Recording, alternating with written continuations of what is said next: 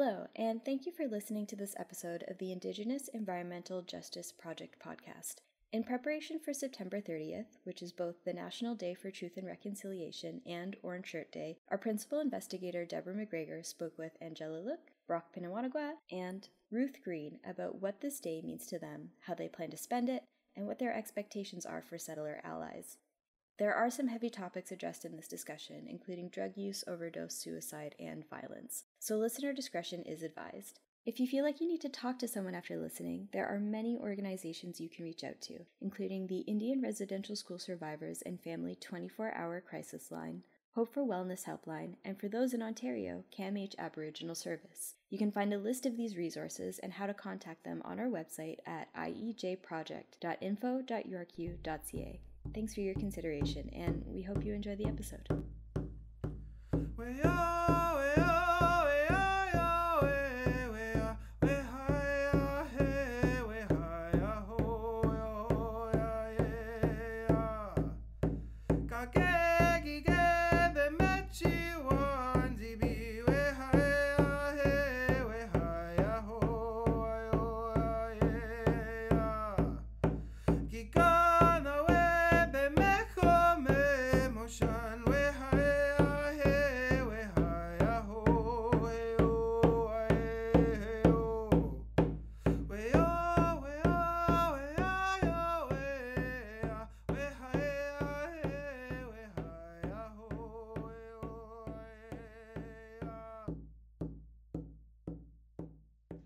Aanii Boozhoo. So thank you for joining me. Um, this is a conversation about uh, the National Day of Reconciliation or Orange Shirt Day and how, you know, a few scholars, but also people, people who live and, and work in our communities and are part of also the York community, um, reflect upon this day um, and how it influences some of our, our research or teaching or scholarship or just being in this place and I'm just starting. So Deborah McGregor, uh, Whitefish River First Nation, Anishinaabe, but also York University uh, professor at uh, Osgoode Hall Law School in the Faculty of Environmental and Urban Change. And as I as I think about this day, um, I think about how I, I guess what comes to mind is kind of decolonization, even though that could mean just about anything. Like I find it means just about anything to anyone. Everyone would have their own idea about what that is. But to me, it means they're not being more asked of Indigenous people, that we're not being asked to do indigenous things and perform indigeneity for for people to try to figure out what this means that to me it means other people like other people non-indigenous people and others who are who are trying to learn to really make it a point to learn from a lot of resources that already exist, to realize it's not just one day in the year to be thinking about this, like it's our everyday lived reality in our families and our communities. And, and to think about what they need to do to learn more about this day and the residential schools and the people that survived them and the people who didn't. That was front page news in May and June. Um, and how to how to process that and think about what just relations looks like for uh, for Indigenous peoples. So my mother went to residential school. She went to uh, Spanish, which has since been burnt down. They're just starting the work of seeing if they can locate um, burial sites, which they know are there. That's part of the oral history of the people who went to that residential school. And um, so how it influences me, fortunately, she retained her language but it wasn't uh, but she didn't teach it to us because you actually i guess have to want to teach it to people even though i would have heard it my whole life and she almost lost it she said but my dad was always in a fluent environment like growing up his family she was from Wikwemikong and she married into Whitefish River. That's all they spoke all the time. So she was able to maintain uh, maintain the language and eventually become an educator and and actually taught language. So to me, that's probably, other than a lot of her experiences of um, of violence in the in the residential school and what she saw, and and in some ways inspired by her because she tried to overcome it as educator herself. So she's very compassionate. She understood what kids were going through and they were having a hard time in the school. So she took she was very compassionate in her approach to to education she also saw it as a way out of that situation. Like she really uh, encouraged us to to do well in school. She saw it as a way kind of out of the situation, you know, that she was living with, uh, living with every day in terms of poverty and racism and everything else. So in many ways, she's also inspiring. So a lot of so in my view, there's there's also a lot of really inspiring stories. When I'm having a bad day, I kind of think, actually, I think any one of her days, the whole time she was there, was probably a hundred times worse than any day than any day I'm having, right? So so I think about that as well. So in terms of my research, probably the biggest loss or challenge that, that I have in the work that I do in Indigenous knowledge systems um, and legal systems is not knowing the language. Like I feel like I've hit the wall. I've learned everything I can possibly learn in English.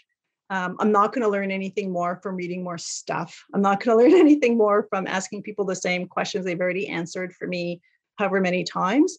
That the only way to kind of go deeper into into this work to try to help deal with a lot of the big challenges all of humanity faces, like you know climate climate change, climate justice, is if I start to start to learn that. So I see part of this day is really thinking about that and trying to reclaim that and seeing how you know acquiring language some facility in it and in working with uh, my mother and others to try to, to i see that right now as really one of the only ways to kind of advance what i'm doing because i sort of feel like i've hit the wall and i need in order to to push it further means i need to learn more.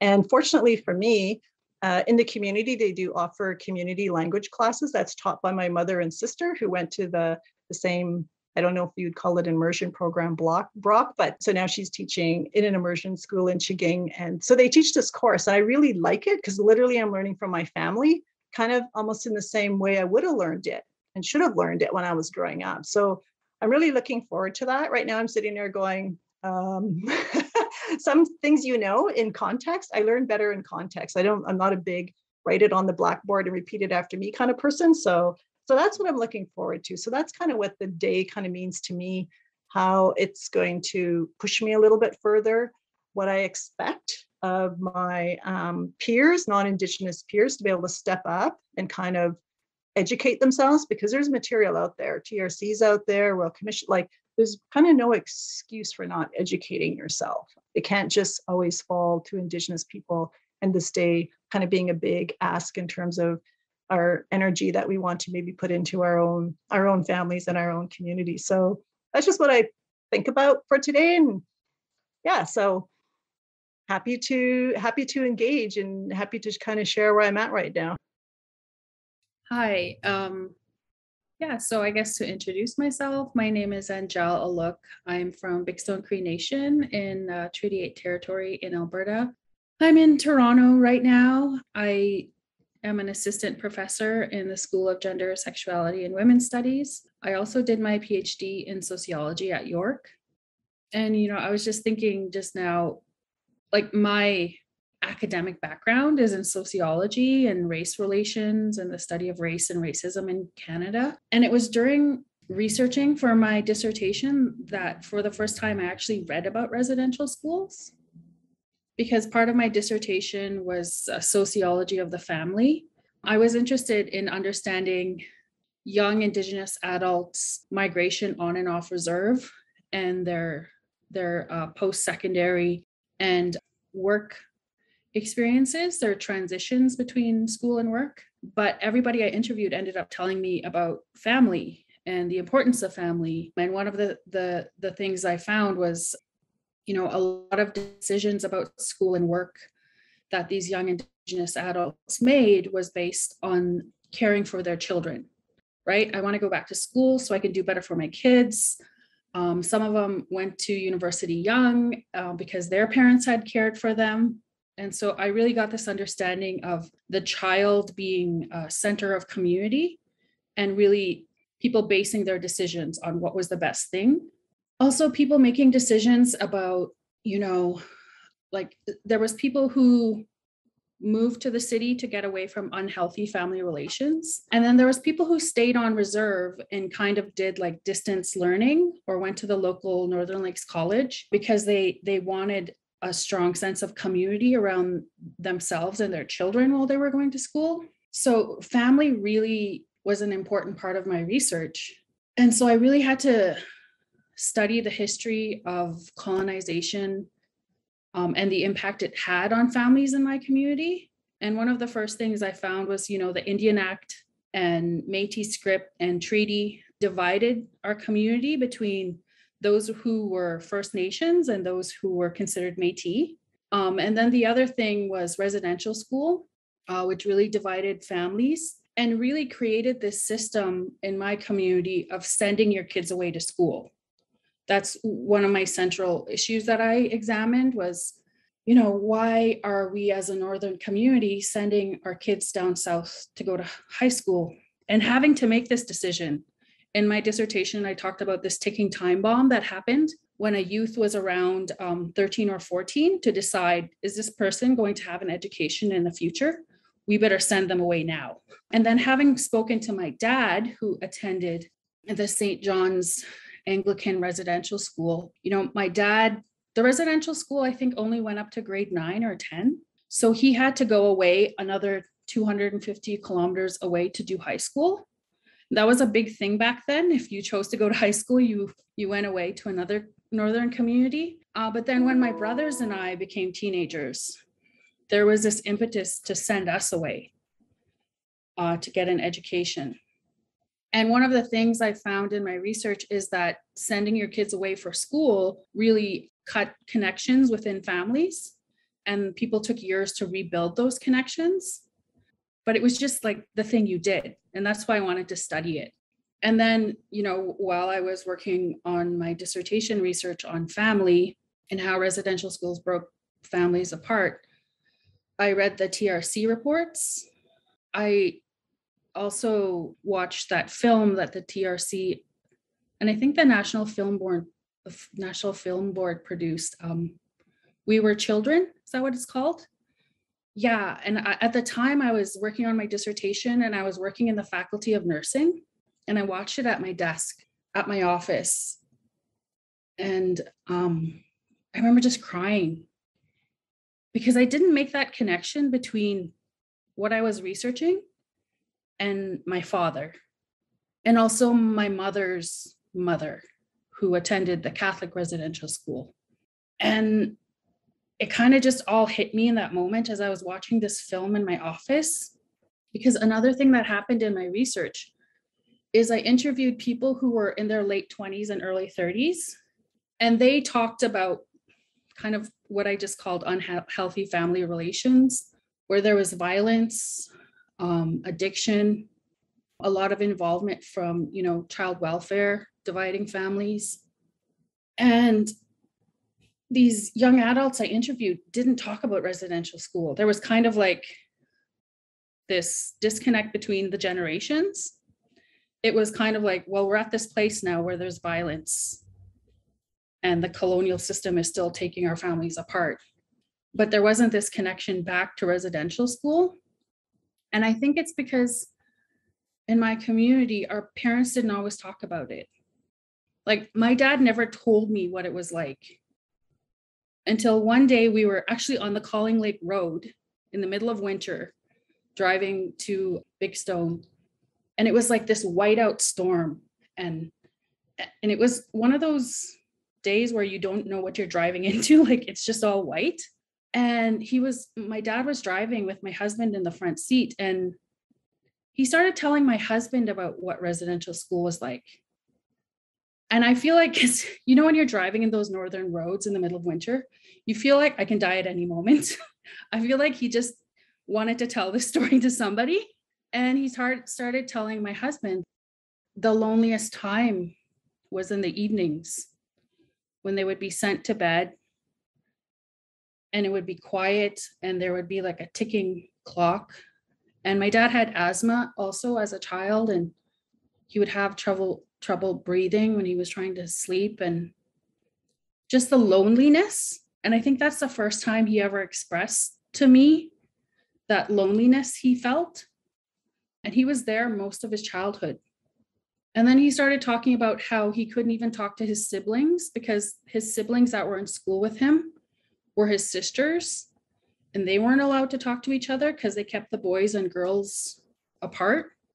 And that added to the loneliness as well. but he was able to have relationships and friendships with his male cousins that were there. And then my whole family made sense to me because I understood why my dad had such strong relations to um, some of my uncles, which were his cousins, and these loving but kind of awkward relationships with his sisters. And it, it all kind of made sense, but that was the only time he ever talked about it. And then this summer, he talked about it again um, because of the unmarked graves that were found. And he started talking about how, you know, they were not made to feel like humans and they were made to feel like bad people even when they were children. Um, and so my community, after the unmarked graves were found in um, Kamloops, they had a few sessions with the elders, these speaking circles, and my dad has been attending them throughout the summer, you know, as a part of his own healing. So it's really, it really just impacts all the work that I do because I'm concerned about sociology of family and work, and I can't talk about these things without first confronting what happened in my family. My mom is also a social worker. Like my dad works with youth and culture. He's a director of youth and culture in our First Nation, and my mom's a social worker.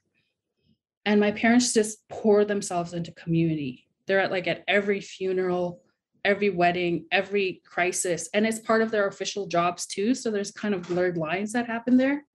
But I don't know. It's it's hard to talk about. And I feel like my parents pour themselves in the community because like there's a lot of violence and death that have happened in our family that are still happening today. There was a death from an overdose in my family this last night. One of my cousins was murdered or committed suicide last year. You know, I, I grew up with physical violence. My parents are, are very religious Christians um, because they've, well, not, they're not as religious now that they're older, but they, they do identify as Christians. And I feel like they had to find some sort of spirituality to, to deal with their healing. So I come from an interesting family in that way. We grew up going to the Anglican church where my dad went to residential school. My brother is buried outside the Anglican church. So it's a really complicated relationship that my family has with the church. But I think for me, the the thing about reconciliation is my my giving back to my community through my own research because that's what I learned from my parents. They just pour themselves into giving back and being there to care for others. So I guess that's what you know decolonization and reconciliation means to me is just if you're an educated professional indigenous person I think you kind of have a duty to give back. Yeah. Sorry, I didn't mean to talk for so long, but that's uh, what I wanted to share today. to know. So thank you very much for listening. Miigwech, that was, I don't want to say that was great, but it was because it wasn't great for the reasons that you know that, that I mean, but you're a great storyteller. Like just, I, I feel like I was in that truck um, in the in the back seat listening and envisioning all of that. So to me, Gretch for that and for and for sharing. I don't know, Brock, did you want to? We're just kind of talking about how uh, how we think about this day, what we expect of it, the the Orange Shirt Day or National Day of Reconciliation, and how it influences our work and families and what we might want to see. Sure, no, that sounds good. My name is Brock Pitawanakwat, and uh, my family's from the Whitefish River First Nation. And uh, I currently live close to my partner's community of Wasauksing First Nation. So we live just outside of the town of Parry Sound. And we have two kids. My children have residential school history on both sides of their family. On my side, it was my, my grandmother who went to the same school that Deb mentioned earlier uh, a Spanish residential school. And then on uh, my partner's side, her mom actually attended the Mohawk Institute. And so I'd say it's it's quite quite close in terms of uh, our family history, especially on on uh, on my partner's side.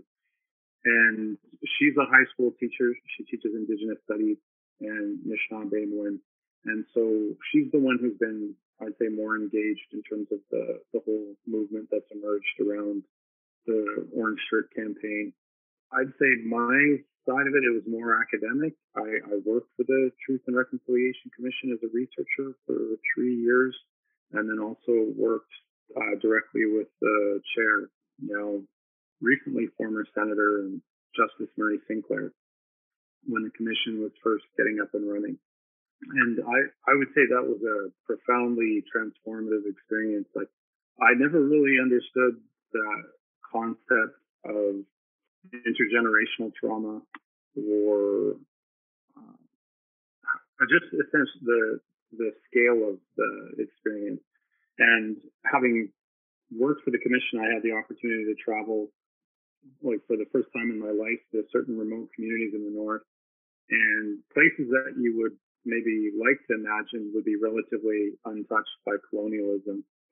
You just keep coming up with the same sort of experiences uh, Angele was talking about too, in terms of families that were disconnected and often in, in really severe ways that people were never able to recover from.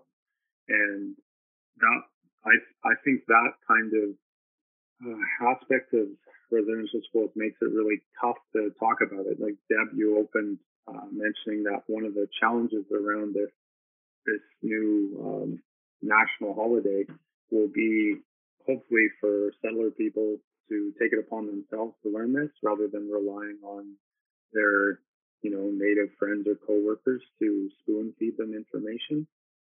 And like all of you, I've, I've received a bunch of. I am doing a talk uh, on September 30th about residential schools for a well-meaning but non-native organization that just kind of wants to bring themselves up to speed. And I've also just kind of politely declined other requests. So I would say in that sense, I see this as a positive that there's, there's at least, it's one of those situations that I know it's a cliche about people often don't know what they don't know. At least Canadians, I'd say, are getting to that point where they, they're there now.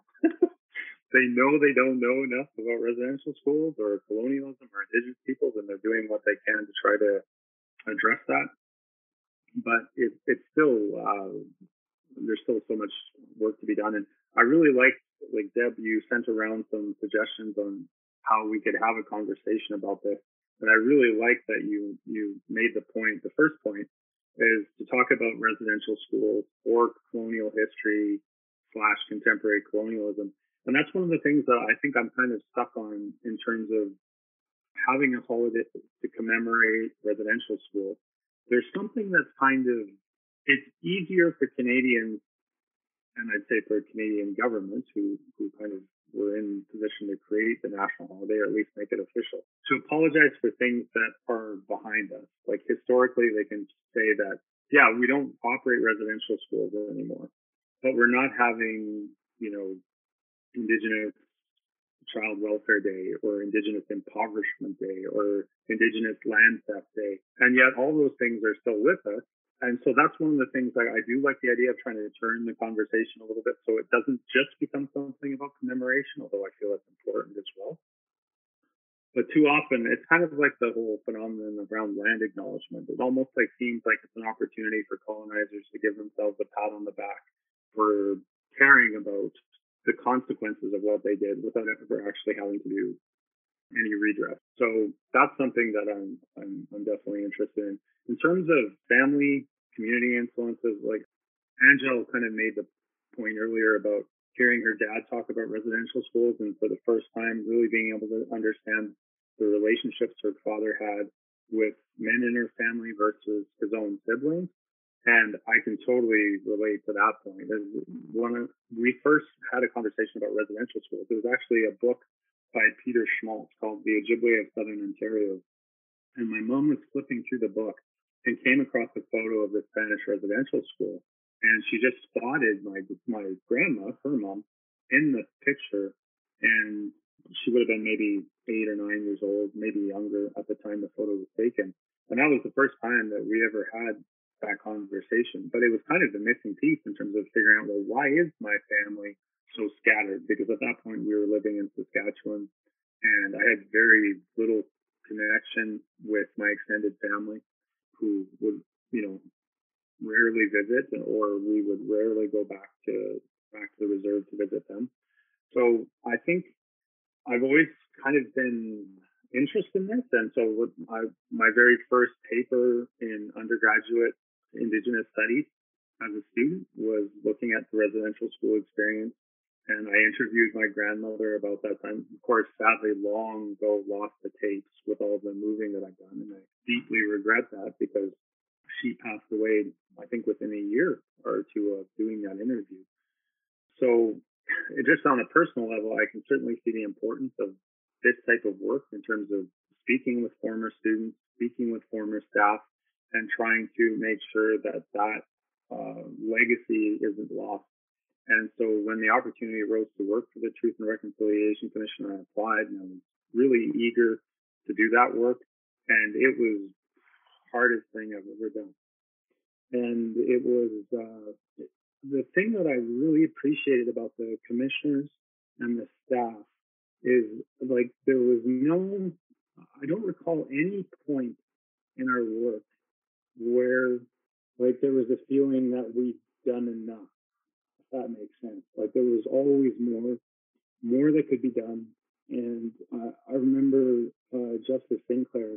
He would speak about like ultimately, like accountability for the commission's work would always be with uh, the former students, like the survivors and he I don't want to put words in his mouth because obviously he understood the importance of his role and the, and the commissioner's work.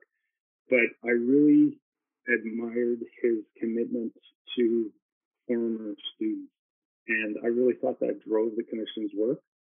And um, it also meant that I, I, probably almost anyone who worked there felt overwhelmed at times with the scale of what had happened and then trying to address it, you know, 130 years after that whole system had been put in place. And also in the context that we were dealing with a hostile federal government, the Catholic Church that ran almost two thirds of the schools and seemed to be doing everything it could to thwart our work.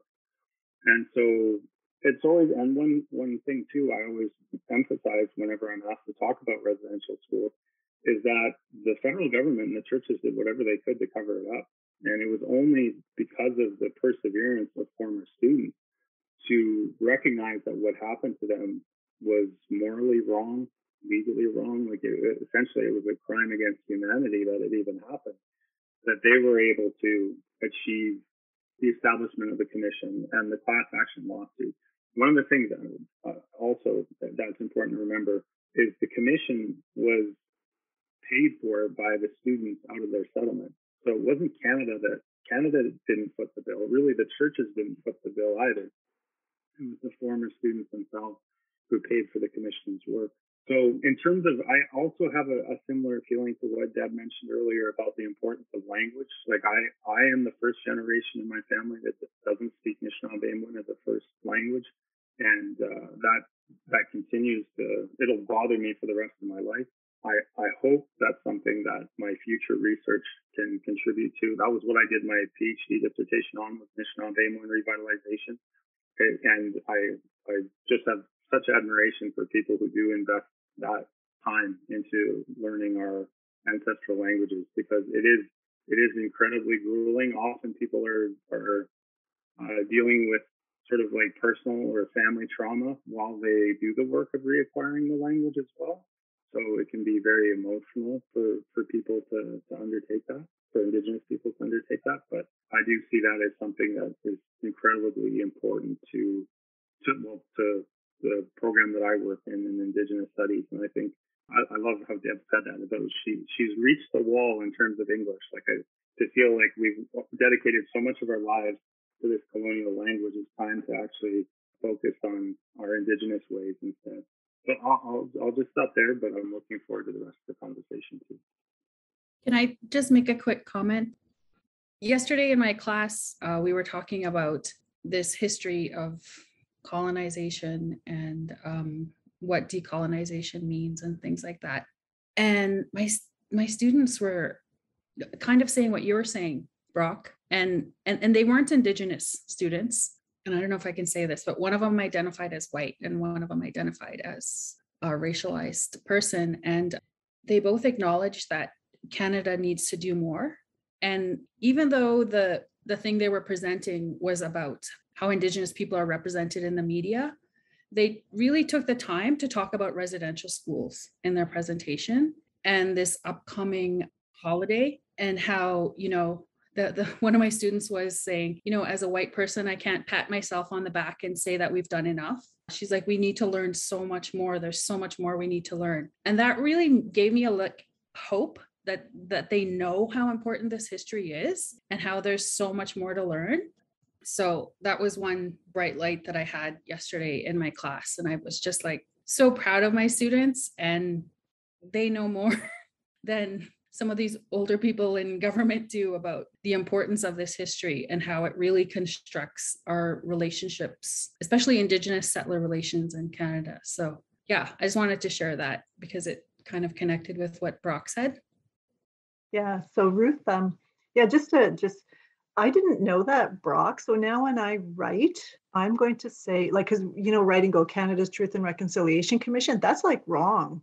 I feel like I got to go back and like change a lot of my papers uh, and say it's the Survivors Truth and Reconciliation Commission and and their calls to action. So uh, for some reason I didn't know that. So Chimigwech for for that because that really that's really helpful. Your experience there, you're able to you know have that experience working with the commissioners and so many survivors and so many different communities to inform that. So very helpful for for me to um, to hear a lot of that. Mm. I did not know that the Canadian government did not fund this. It's actually that infuriates me. I would love do you know if there is something written about that at all, Brock? Because if there is, I really think it's something we need to start discussing very openly. Yeah, it's, it's part of the the commission itself kind of explains it in its mandate is that it was it came about through the class action settlement. So when they had the independent assessment process and the common experience payment, like those payouts were negotiated through the class action settlement, and those went directly to survivors. But former students, the survivors, also demanded that there be a commission, and and that's where, in terms of like Canada, Canada put certain limits on the commission. For instance, that was one of the reasons why the TRC did not have subpoena powers. They were reliant on people just coming forward and, and volunteering their testimony to the to the commission. And so uh, survivors had wanted an inquiry. They didn't quite get that. Instead, they got this truth commission, and Canada did end up setting other sort of limitations around it. So it, it's kind of like this frustrating thing where survivors, again, having to negotiate, they weren't able to get all that they wanted in terms of a national inquiry into residential schools, but they did get a truth commission. And ultimately, it was negotiated in terms of how how it would do its work, who would lead the commission. So it's kind of like this in between. But yes, it was ultimately the former students who paid for the commission's work out of their settlement. Don't want to start you off being infuriated, Ruth, but there we now, now we've got some truth revealed here. So so we've done That's, part of our job. Right. That's part of what this all is. So Sego. Ruth Green Notnyos. So that's about all the language I get to speak, sadly my family's story with residential schools is multi-layered but there's also the other truth that my family is more impacted by not residential schools but indian hospitals. So as part of my introduction i'm a social work professor um, and that's really something i want to highlight and talk about in a minute. But i'm really struggling with the language that's being used around this day, that it becomes a statutory holiday. Because when I've gone back and I kind of was looking at what the word holiday meant, and usually it's like the concept of a holiday was organized in connection to religious observance. the intent of the holiday was to typically allow individuals to do religious duty. And I find it such a challenge that we don't have language that talks about the problematics of using the word statutory holiday to talk about the violence that's come through the religious experiencing. I'm in a very different boat than most people in this conversation today because I didn't grow up in community.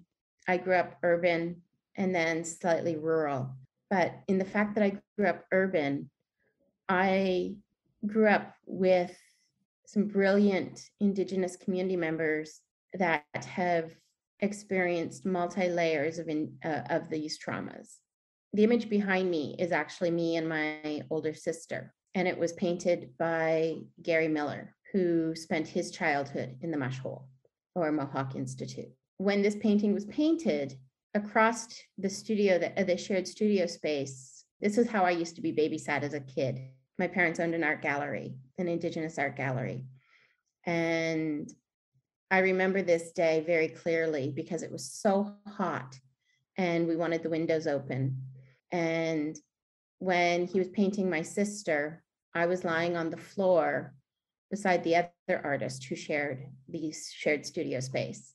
And she still teases me about the fact that I kept bugging her for purple pencil crayons. And I remember being, I was about four when this painting was painted. A few years later, I remember being a little bit of a, you know, a, a precocious child. Surprise, right? Does that surprise anybody who knows me? That in my parents' gallery, I was talking about the woman whose purple pencil crayons I would borrow. And I just heard the stories of how she got her name so many times that as a child, I was explaining it to a bunch of white people and in the gallery. And her name is, uh, she would say a Siouxsian name, a Dakota name that means to walk beyond. She's always been my, she's always been my max, but she signs all of her work in that that name to mean to walk beyond, which is Ionemani. And so I remember as a child hearing her story of being gifted her name when she was just a little one because she was about to be sent off to residential school. I remember Gary having conversations with my dad. I remember their shared, the man that they also shared the studio with, Don McClay, talking about being in group homes, in foster homes. My job was to, when I was little, one of my jobs jobs was a very important job was to study the totem pole that he was carving. And I remember studying the totem pole in the Eaton Center, that I was sitting on the totem pole in the Eaton Center while he carved it. That totem pole now stands in front of uh, the Native Canadian Center of uh, in, in on Spadina. Those were my childhood memories of understanding colonization. Was that they were stories that your aunties and your uncles told you as they were working, as their hands were busy, and they would start telling stories. Those stories sit with me when I think about the truth and reconciliation. And I am so over reconciliation. It's not my job. My job is I've heard the truth from the people who experienced it and to share their stories as best I can in what I'm allowed to share. One of the stories that I miss hearing and holding the whole truth for that I can share is my grandmother's story. My grandmother died when I was 19, and I wish I had had the forethought, like Brock, to record her. But she was in an Indian hospital, and my grandmother was taken when she was six to the hospital because she had severe eczema and psoriasis. And part of what she experienced was the experimentations that were done on children. And it was done in around the same time zones, around the same time periods as those residential schools, but had a very different impact and an impact that we, I don't think, in society talk about. You know, my grandmother was tied to a bed and had tar put on her all over her body. My grandmother was, they found out electroshock therapy does not cure skin issues. My grandmother was, when she died, she died of cirrhosis of the liver when I was 19. I never knew my grandmother as a drinker, but the alcoholism in my family was very severe. My grandmother stopped drinking the year I was born. However, the damage was done already. But when I knew my grandmother, she she would bruise. She always had bruises everywhere. And it was because as a child who was being experimented on, she had had the thinnest skin. She cut and bruised so easily because her skin was so thin due to the amount of cortisone that they were experimenting to see how much cortisone could be put on a body before it would damage the skin. So it would heal the skin for psoriasis and eczema, but also damage the underlying tissue, and her tissue never recovered. These are stories that I know don't get told. They're stories that I know are going to impact me because of the trauma my grandmother experienced and the struggle she went through. My grandfather also was in the mush hole, but we don't know any more than that. We know he's on the roll call. He never spoke of it. And my grandmother in 1952 decided it was safer to be an Indigenous single mom with two kids than to live with my grandfather, who was incredibly abusive due to the trauma he had experienced. And these are the family stories that are just disjointed. We don't know the whole story because of the shame and the trauma nobody ever wanted to talk about it. So they'd drop little nuggets and tell us little bits. And those little bits are just pieced together pains. And for me, the idea of a truth and reconciliation day is not my focus. I don't want to focus on telling these stories. I want to focus on making sure that my beautiful, beautiful responsibilities. Elijah and Ani's hair is perfectly braided so that that sweetgrass braid down their back gives them the strength they need. And so that's kind of how I'm focusing on the day. I don't, we won't be able to uncover the whole truths because the truths have sadly died with so many people and so much pain has been done. I think that it is very important that non Indigenous people learn truths. And I'm willing to share this story, these stories, because they are the truth as what I know them. And they're broken because the truths can't be told fully because of the pain. But in that, I want my kids, I want my grandmother's grand great grandchildren to be able to walk proudly. I have the hugest fear every like one of the day every day, I have a huge fear that I'm going to get a call that my child has been abused or harmed, and I'm terrified of their braids being cut off. And I know that comes from the trauma of residential schools. I know it comes from the trauma that we're still seeing in colonial violence, that we have social media taking up spaces of boys with braids.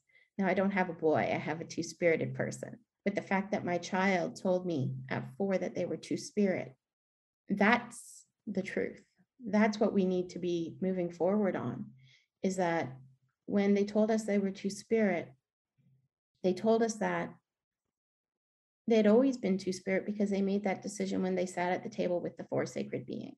And they had not heard those stories before. I'm pretty sure I had they had never heard the stories of the of the two sets of twins before they told me that they they made the decision to be a two spirit when they sat at the table before they came to this world that's the truth for them and i know that the resiliency of our ancestors have come through my children and that's what i'm focusing on so i think that it's very important that non-indigenous people take the time to learn I always say there were so many brave survivors that shared their stories and made them public that those stories need to be gone.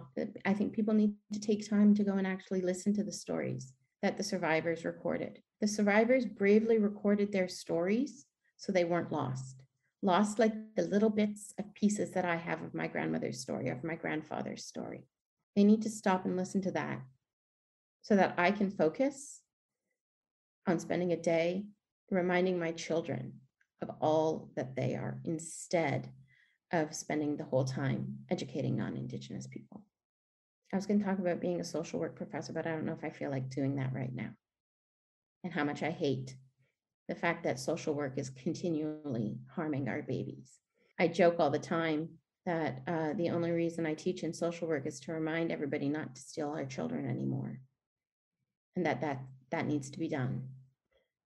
But that's also one of those hard spaces because as a social work professor, I go in and I teach our trauma every day instead of focusing on the fact that my kid wore their hair in a braid today again. And they will always wear their hair in a braid. And when asked if they want to cut their hair, they say no, because that's my memory. And so I think that's where I'm going to leave it today. You got Ruth, and I really like the um, paintings. I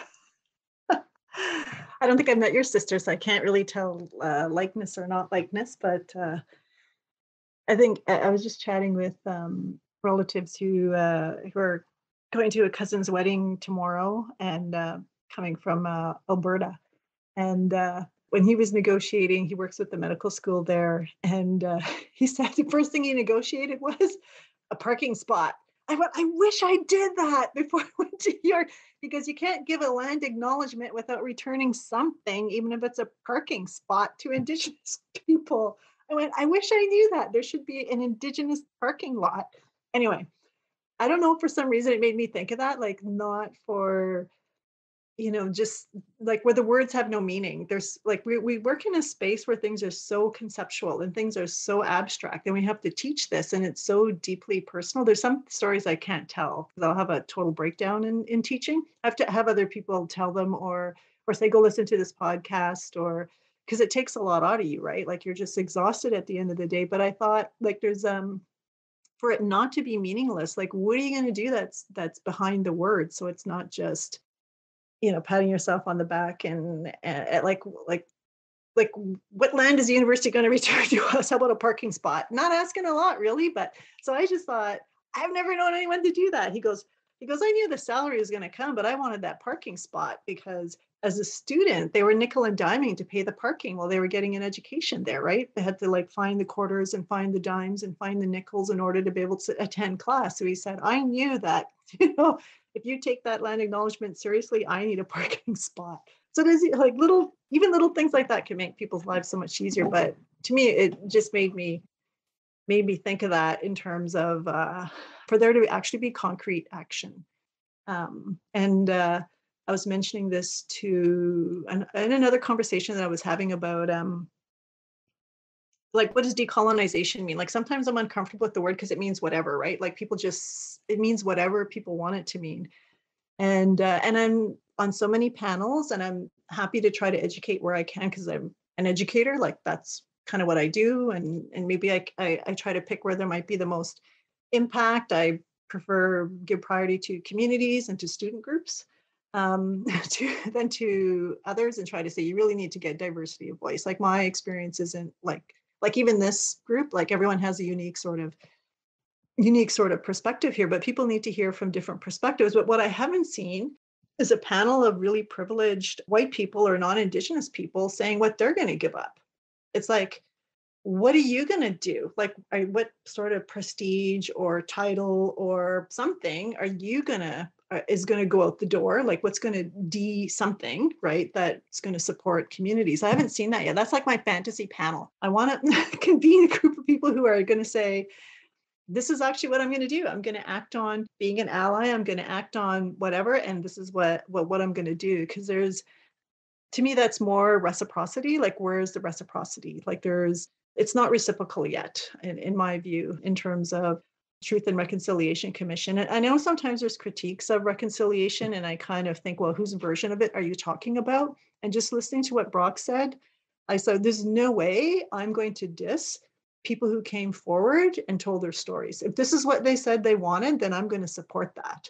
And that's sort of the position that I've taken, having like my mother being part of those processes and having gone and and she being called upon a lot to to to talk on the 30th to the point where she was double booked and and as a residential school survivor, because a lot of other people are not willing to talk about it. It's too painful for them. But she's able to for that day. But then um, then we're dealing with the outfall of that later because you're reliving a lot. like we're dealing with that later, right? Like she'll step up for that day, but then it's not a good it's not good after like there's there's an impact in in doing that. So so part of this conversation was to sort of take some of that burden off the survivors and have us take up some of that responsibility to kind of try to speak for for those who can't anymore or or won't for for their own reasons that I completely respect. And uh I'm just to stop there and and um, Brock and and Ruth can comment comment if they want. But I've learned a lot from from this conversation and uh, and and realize more important the the work that we do in the communities, but also in our jobs as educators, and then trying to work within colonial institutions to try to, I guess, change them. And it's so it's so much work and energy to do that. So so just on the lighter side, I think we should all get a parking spot. We should all I You're occupying idea. our territory. I want a parking spot. I went so clever. Why didn't I think of that? But you know, I'm putting my trike right in the middle of the damn parking spot. Right. That's because I don't drive. I'm still putting the trike right in the middle of the parking spot. Thank you very much. So there's a long story, but I've designed and developed project research projects that I've never actually got to come to fruition due to some of the other commitments I've made to the university and other spaces. And one of the projects, Deb, I'm looking forward to submitting my ethics for this one. And I'm going to do it if, even if I don't have, I, I've applied for funds, but I don't know if I'll get them. And it is actually to talk to senior level administrators at the decanal level and above about what are their personal and professional responsibilities. So don't just hire an Indigenous person to do all the work. What are you doing right? If it, you know and i i hold you know the honorable sinclair's words of education got us into this mess education will get us out. Very dear right? As somebody who my research and my understandings and my work outside because i you know social work's not my my beloved. I'd rather much talk about pedagogy and education and those spaces. So i really want to know how do we how do we educate and support people in this learning without damaging ourselves? And when when do we when do we hand it off and say okay we've done enough educating non-indigenous people. There's enough of you we've we've shared our stories with. Instead it used to be indigenous studies were always taught by non-indigenous people. Then indigenous people took over which is freaking fantastic. But when do we have to not be the ones only doing the education on their responsibility because they used to teach about us as subjects or as objects, right? And now we get to teach about ourselves as the subject. But when do we get to move beyond into a space where non Indigenous people take up the responsibility of talking about their role in the positioning? I don't know. Further thoughts? You'll get the funding. It's a good topic.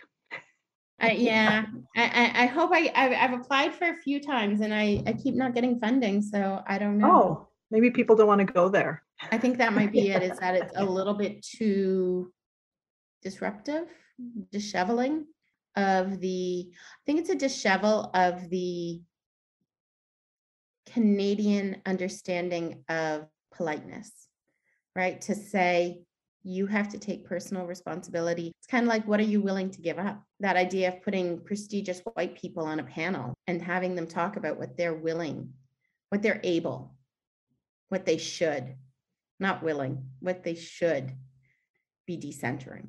I don't know if you have any final reflections, Brock, or thoughts on listening.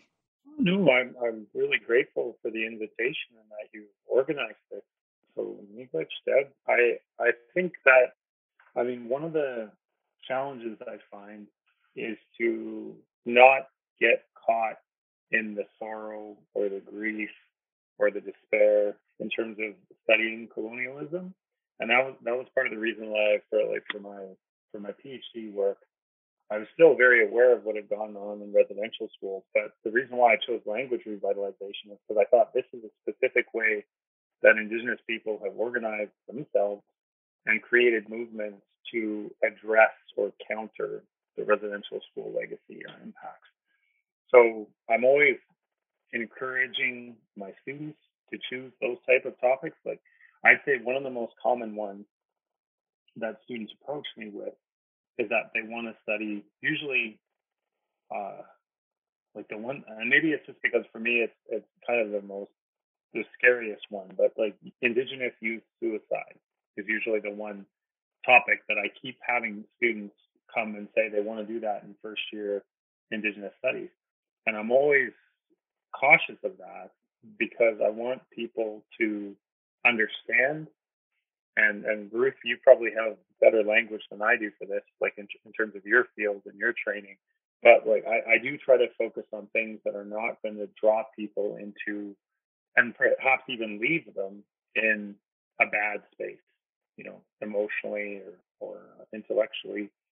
So I think that's something that's really important for anyone who's working in this field in terms of Indigenous education is to also as educators to try to make sure that we don't leave our students in those places. Because I certainly remember uh, learning very little about Indigenous people throughout my education. It wasn't until I got to university and then at times just being overwhelmed just with with I guess grief.